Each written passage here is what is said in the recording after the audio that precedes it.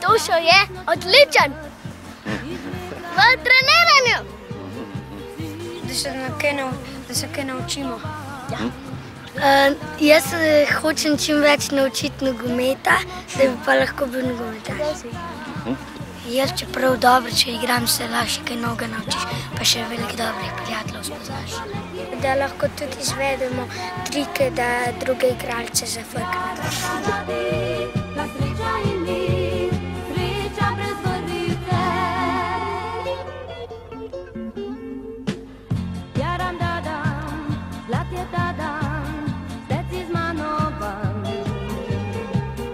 Zmiraj z mano, zmiraj moj Bog.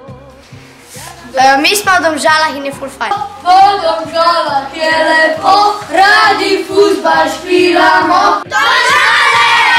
Ker je bilo lani hodal, sem tudi letos prišel.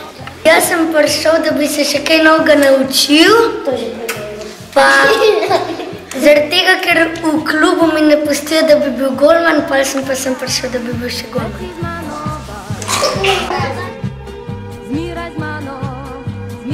algo.